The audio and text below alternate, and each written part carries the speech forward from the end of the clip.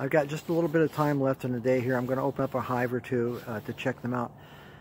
The, the bees uh, create so much warmth uh, all through the winter that it actually creates a condensation, a constant condensation that it goes up to the ceiling of the hive and then it uh, uh, rains down upon them, which is not, as you can imagine, good for the bees. And so it rains down upon them. I'm trying to figure out a way to uh, mitigate that. I'll show you here uh, shortly.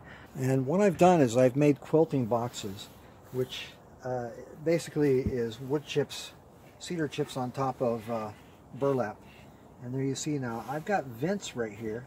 I also put some wood here, which means that I have more uh, venting around the sides right here.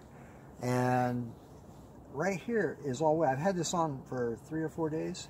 You can see it's wet right here where it comes through the vent right here and in the back also another vent there. Uh, there's also uh, water. There's actually water here. It's actually wet. And here this is all wet.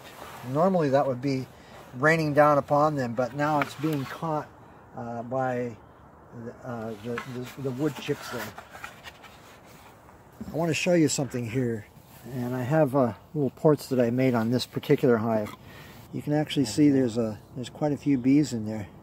Even if you have quite a few bees, they normally are not close to the window so much. So the fact that they're even close to the window tells me that there's even more bees in there. This actually has, uh, instead of just putting uh, burlap on the, the screen box down here, because this, this box has screen on the bottom, uh, the hive starts right here. And this is a separate box. This is the quilting box here. And you can see in here, see how this, this is not just from today, this is a blackness from the, from the water, which tells me that it might not be a bad idea to treat the insides of these. Of course, it's a little late in the year right now. Got the this eighth inch sticks here and here. That gives me ventilation around here as well as ventilation on the sides.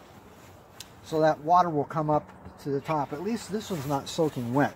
It is a bit damp, but it's not soaking wet.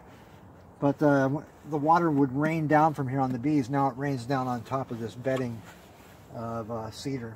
And we'll see what's happening on this one. Basically the same thing. This one here. Here for you. See how black that is?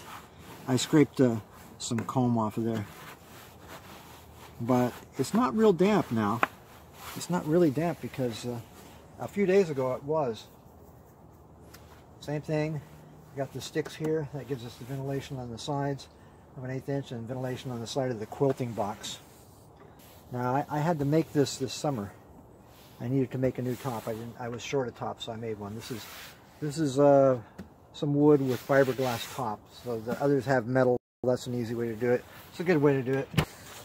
See, that is really, really wet. This is the wettest of all of them, which definitely concerns me. This is quite wet right here. And wet right here. But the water's not falling down on top of the, the bees, so that's that's a good thing. It can't because of the wood chips and then the wood chips is the uh, the burlap.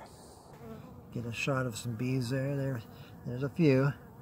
I've got the little restrictor boards in there so they they can't uh, critters can't get in that way. That's about it till next spring and then we'll we'll see how well this does.